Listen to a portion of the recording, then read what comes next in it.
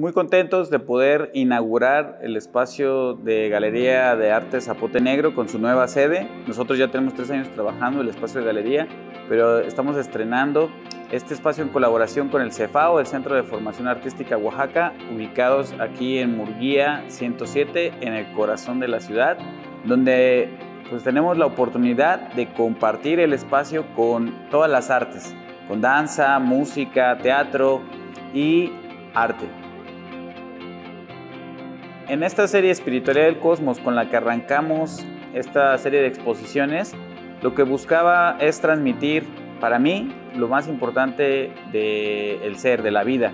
Es una exposición que aborda de una manera abstracta diferentes sensaciones, colores y formas que nos hacen pensar en el origen de la vida, en nuestra existencia, en nuestro mundo interior y cómo se relaciona con el mundo exterior y con el universo a través de una serie de 14 obras que se presentan en este espacio, se busca transmitir una sensación de fuerza, de color, de vida, para que podamos reconectar con lo que es importante, con lo que verdaderamente vale, que es la espiritualidad.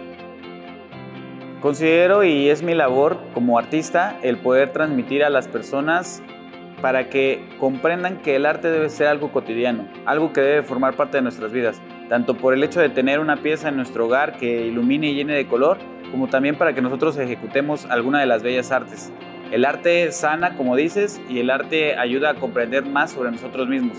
Entonces los invitamos a poder visitar nuestro espacio, conocer estas obras y seguir incluyendo al arte a sus vidas cotidianas.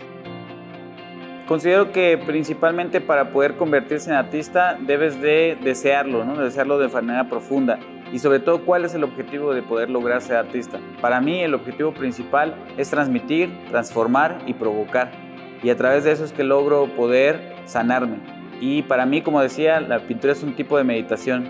Mi consejo sería para los artistas que comienzan, pues, sobre todo especializarse, seguir estudiando, seguir preparándose, mejorando su técnica día a día, porque esto va a hacer que lo que desean transmitir, que todo lo bueno que tengan por dar, pueda salir de la mejor manera, que encuentren los medios para expresarlo.